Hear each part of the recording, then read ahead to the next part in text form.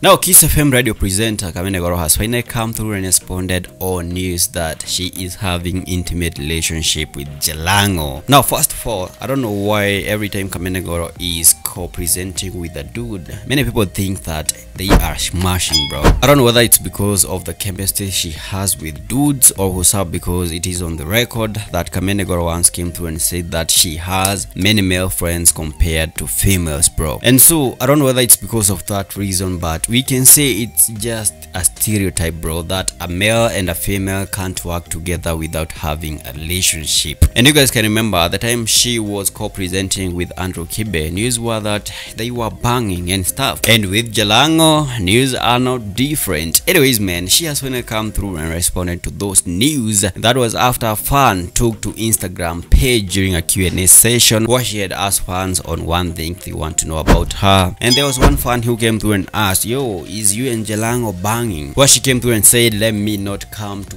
answer these puny questions ever again, bro. Now, this fan who is going by the name Robinson came through and asked this, and I quote, Hi, I'm Robinson from Gilgil.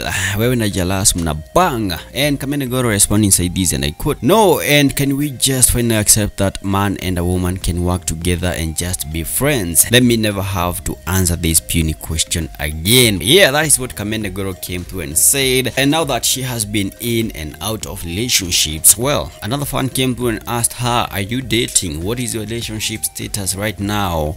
And she said that she is seriously committed to her work. That is radio presenting, of course. Now, this fan asked this, and I quote, What is your relationship status? And she said, I'm in a serious and committed relationship with my career and my destiny. Yeah, so right now she's not dating. And why? You guys already know that when a lady has her own money, it sometimes becomes difficult to date, bro. I have never known why. Maybe you guys can go ahead and tell me. Anyways, that is what's good for now. At least she came through and cleared the air concerning her and Jalango having intimate relationship. What are your thoughts? Go ahead and tell us down in the comment section. Subscribe if you haven't. Follow me on Instagram, blissga.ke, and I'll be back with more news.